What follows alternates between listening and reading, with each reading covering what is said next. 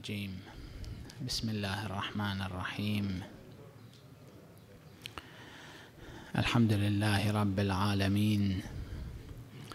وصلى الله على سيدنا محمد وآله الطاهرين.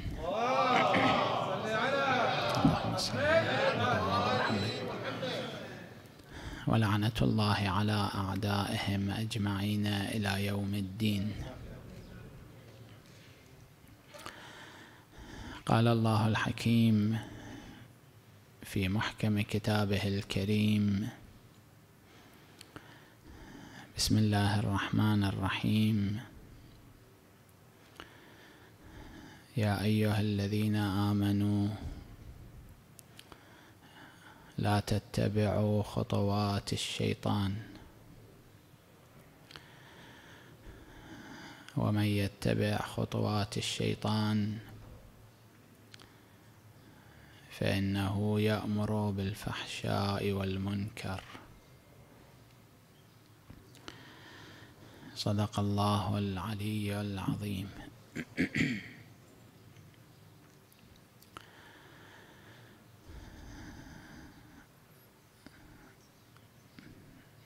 الشارع والطريق الآمن. هو الشارع الذي يكون على طرفيه فاصل يسمى بكتف الطريق يسمى بحارة الأمان أي تسمية. فاصل بين السيارات وبين الحواجز. حتى تبتعد الناس عن احتمال التصادم مع الحواجز.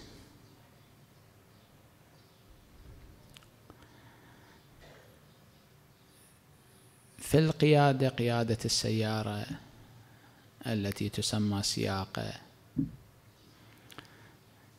يلزم أن يكون هناك فاصل بين سيارتك وبين السيارة الأمامية. وكلما كانت السرعة أعلى هذا الفاصل يلزم أن يكون أكبر.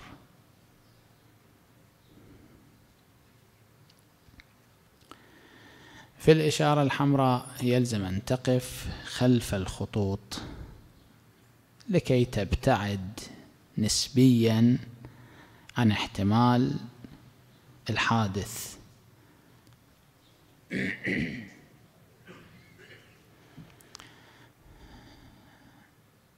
وفي مجالات أخرى. سلك كهربائي عاري من دون محافظ بلاستيك. إذا رأيته لا تقول لطفلك لا تأخذ هذا السلك. لا تبعد الطفل عشرين متر مثلا أو أكثر أو أقل عن هذا السلك. كل ذلك لماذا؟ وأمثالها المئات والآلاف من الأمثال. لأن العقل والعقلاء يعني الطريقة العقلائية متفقان على لزوم الابتعاد عن مواطن الخطر. العقل والعقلاء متفقان على أنه يلزم أن لا توقع نفسك في الخطر. هذا واضح. لا أكثر من ذلك. يتفق العقل مع طريقة العقلاء. في أنه يلزم أن تجعل بينك وبين الأخطار فاصلا. وكلما كان الخطر أكبر يلزم أن يكون الفاصل أكبر. هذه من بديهيات العقل. هذه من بديهيات طرق العقلاء. من هنا؟ الشريعة المقدسة الإسلامية جعلت راعت هذا الضابط الذي جعله الله سبحانه وتعالى في العقل والذي مشت عليها العقلاء عامة. طبق ذلك في الأمور الخطيرة الشرعية. والأمثلة كثيرة جدا. كمثال أقول.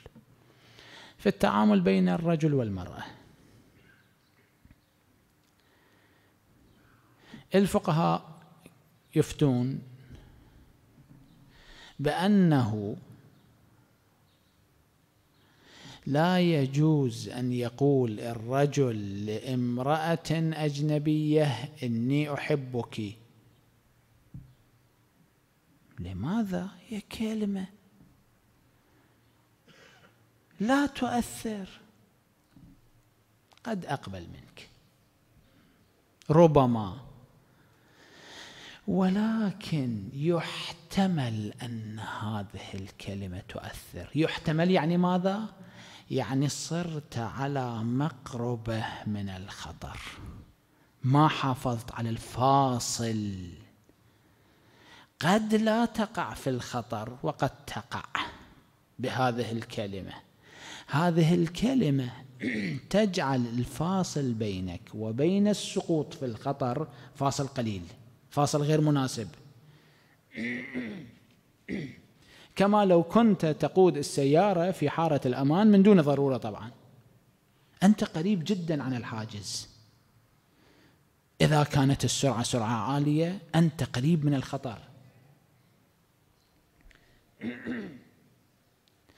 كثير من الفقهاء يفتون بأن الرجل لا يجوز له أن يكون مع امرأة أجنبية في مكان مغلق في مكان لا يتمكن أحد أن يطلع على حالهما لا يتمكن أحد أن يدخل عليهما. عادي. قد يكون عادي. ولكن أنت في منطقة الخطر. في هذه الحالة أنت في منطقة الخطر. لماذا تجعل نفسك في منطقة الخطر؟ مرة عندك ضرورة ذاك موضوع ثاني. مرة من دون ضرورة تبقى معها. لماذا؟ أنت في هذا الوضع في منطقة خطر. العقل والعقلاء يتفقان على أنه يلزم أن تبتعد عن منطقة الخطر. تكون في المنطقة الآمنة. إذا كنت معها في مكان مفتوح أنت في منطقة إجمالا آمنة. في مكان يطلع على حالكما غيركما أنت إجمالا في منطقة آمنة. إجمالا من هذه الجهة. لا نتحدث عن بقية الجهات.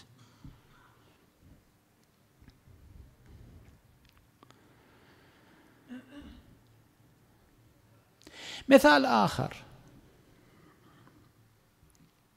المرأة تجعل شيئا من المكياج على وجهها وتخرج أمام رجال أجانب. عادي اليوم الشباب رأوا ما رأوا لا يقعون في الحرام بهذه الأمور. قد يكون كلامك صحيحا قد يكون. ولكن هذه حالة قد توقع بعض الشباب بعض الرجال في الخطر. منطقة محظورة هذه.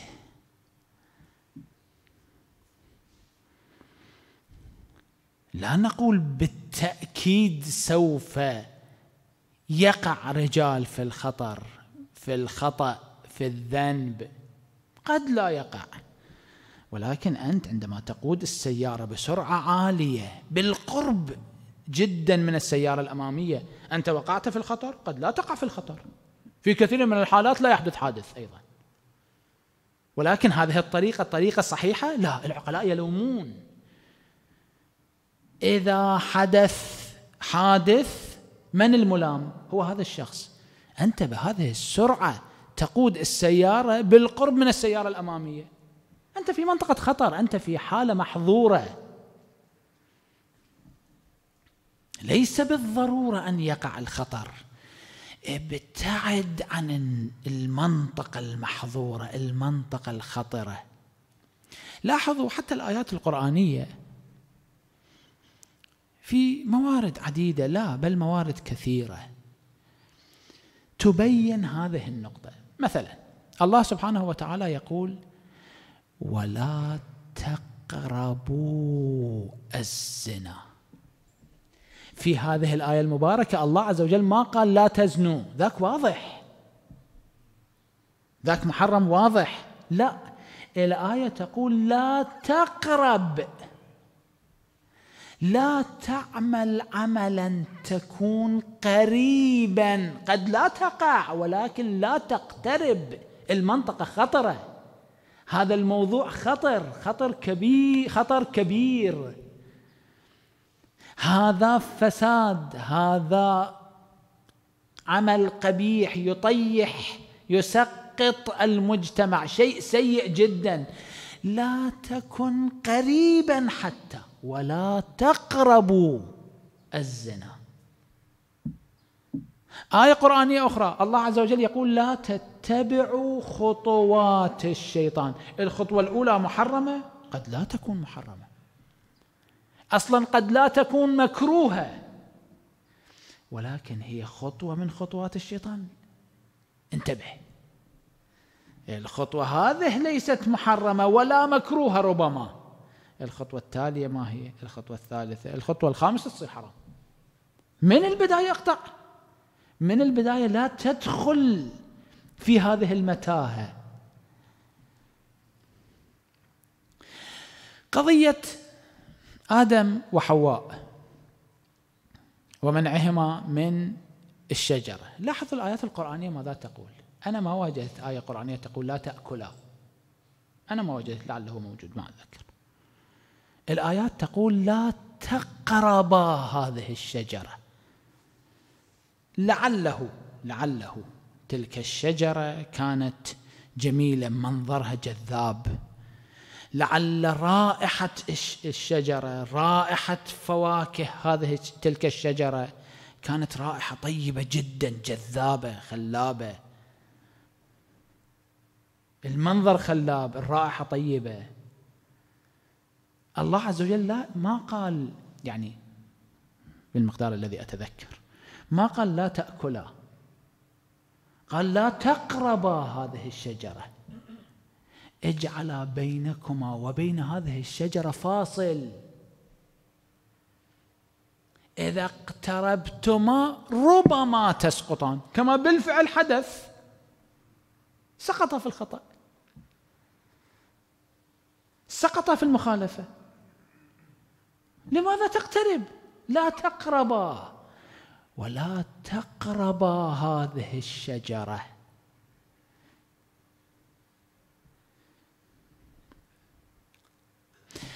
أصلا هذه الدقائق القرآنية اجعلوها على جانب. حتما رأيتم في الأفلام الوثائقية التي تتحدث عن الحيوانات عن حياة الحيوانات. الأسد عندما يصطاد مثلا غزالة فورا تستسلم بمجرد ما يعض الأسد عليها تستسلم خلاص. بعض الحيوانات عندما يصيده الأسد تضطرب تتحرك تحاول تضرب الأسد بضربات شديدة يعني بعبارتنا تطلع روح الأسد. إلى ان تستسلم.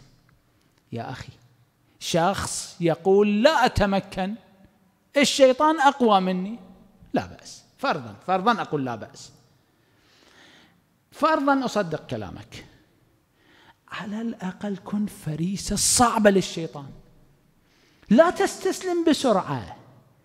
أول ما قال لك الشيطان تعال تذهب. لا. اتدلع. كن صيدا مؤذيا للشيطان. الشيطان يريد أن يفتك بك. يريد أن يقطعك أن يمزقك. دنيا وآخرة. أليس كذلك؟ هذا واضح. أنت بمجرد ما قال لك الشيطان تعال تذهب. خطأ. طلع روح الشيطان ثم اذهب إليه. لو كنت تستضعف نفسك أمام الشيطان لا تكن فريسة سهلة. الشيطان يريد أن يفترسك بكل سهولة تستسلم له. اجعل حاجزا اجعل مانعا. أبعد الشيطان الطم الشيطان اضربه.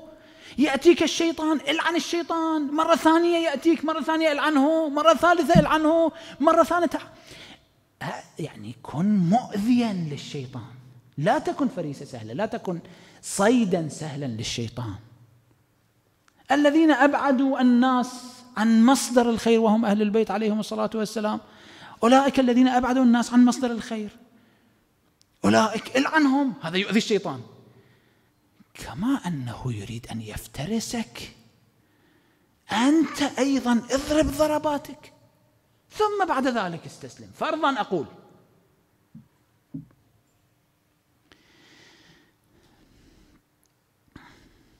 عدو بهذه الشدة ليس عدوا لدنياك فقط.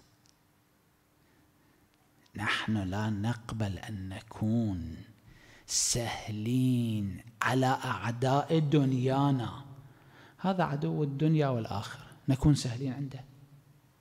ابعده لا تقترب من المنطقة المحظورة. إذا اقتربت أؤذي. كن مؤذيا كن متعبا له.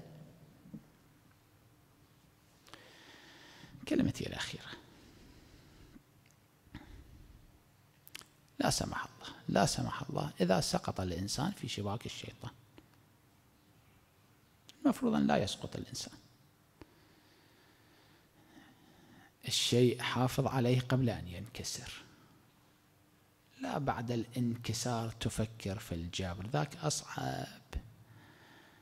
بالإضافة إلى أنه بالنتيجة. فرضا شخص سقط في شباك الشيطان. إذا سقطت في شباك الشيطان حافظ على تمسكك بحبل النجاة. أنت في الشبك.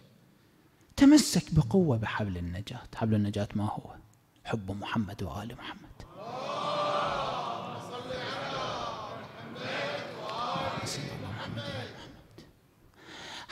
حافظ على الشيء الذي ينقذك في أصعب الظروف. ولاية محمد وآل محمد. اللهم صل على محمد وآل محمد.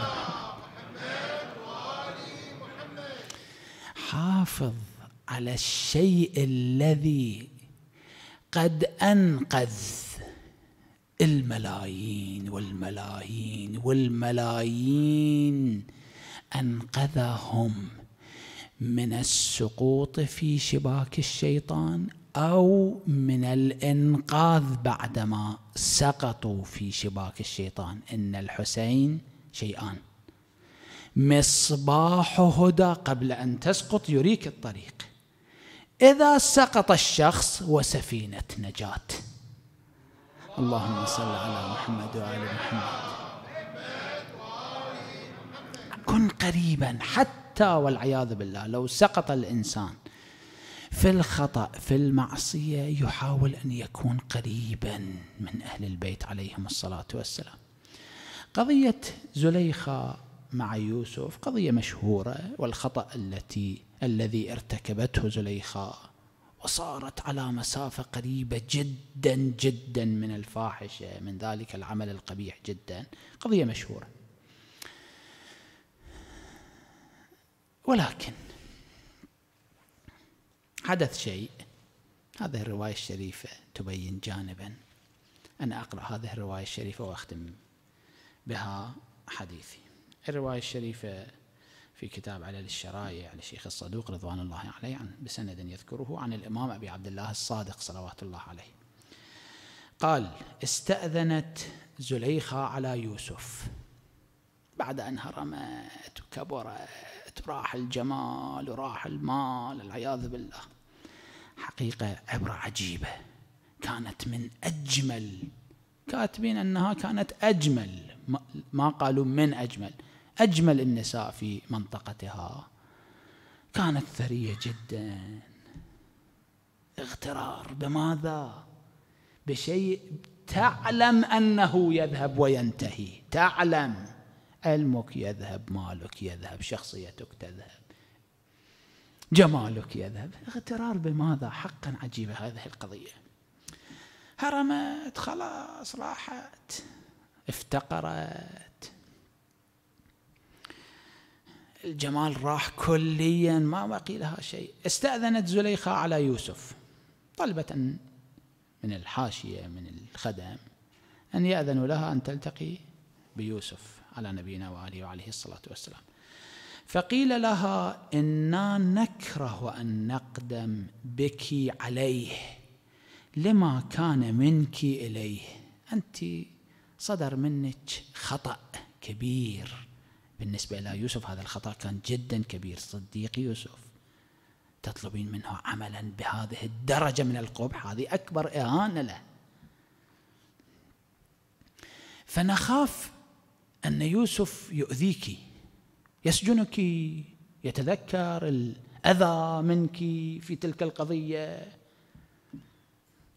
إنا نكره أن نقدم بك عليه لما كان منك إليه. قالت إني لا أخاف من يخاف الله. يوسف يخاف الله أنا لا أخاف منه. لا بأس استأذنوا لا أدخل عليه. فلما دخلت قال لها يوسف على نبينا وعليه وعليه الصلاة والسلام. قال لها يا زليخة ما لي أراك قد تغير لونك؟ ما أراد يوسف أن يؤنبها أراد أن ينصحها. الأمور تزول انتبهي. قالت الكلمة جميلة جدا كلمتها جميلة. قالت الحمد لله الذي جعل الملوك بمعصيتهم جعل الملوك بمعصيتهم عبيدا وجعل العبيد بطاعتهم ملوكا. أنا كنت ملكة بمعصية الله أصبحت عبيدة أما يعني بحكم فقيرة لا تملك شيئا وجعل العبيد أنت كنت عبدا. وجعل العبيد بطاعتهم ملوكا. قال لها ما الذي دعاك يا زليخا إلى ما كان منك؟ قالت حسن وجهك يا يوسف. فقال يوسف قال أنت تقولين عني حسن الوجه؟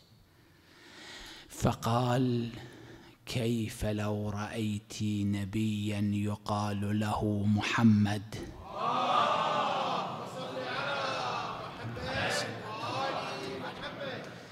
يكون في آخر الزمان أحسن مني وجها وأحسن مني خلقا وأسمح مني كفا.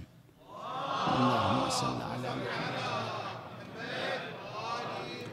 قالت صدقت. قال يوسف وكيف علمت أني صدقت؟ قالت لأنك حين ذكرته وقع حبه في قلبي.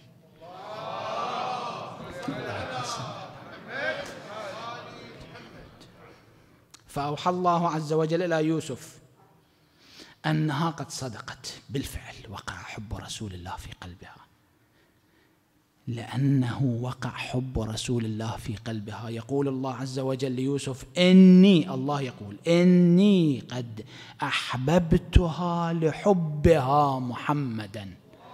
اللهم صل على محمد. فأمره الله تبارك وتعالى أن يتزوجها. القضية المشهورة على أبواب الأشهر الجميلة الثلاثة المليئة بالروحانيات الأشهر السهلة التقرب فيها إلى الله سبحانه وتعالى. أفضل شيء أفضل الأعمال الورع عن محارم الله في شهر رمضان. الورع الورع يعني الاجتناب يعني أخذ الحيطة. لا أقول الإنسان يقع والعياذ بالله في الوساوس لا. أخذ الحيطة. خصوصا بالنسبة إلى هذين الشهرين وهما مقدمة لشهر رمضان. الإنسان يحاول ودائما يلزم أن يكون هكذا ولكن في هذه الأشهر بالخصوص يكون الإنسان يحافظ على الفاصل بينه وبين الشيطان. إذا اقترب يبعد الشيطان يبعد نفسه عن الشيطان. نسأل الله سبحانه وتعالى ببركة محمد وآل محمد بحق محمد وآل محمد بمكانة محمد وآل محمد لا يفرق بيننا وبين محمد وآله طرفة عين أبدا. اللهم لا تفرق بيننا وبينهم اللهم لا تفرق بيننا وبينهم اللهم لا تفرق بيننا وبينهم. اللهم صل على محمد وآل محمد وعجل اللهم فرج مهدي آل محمد.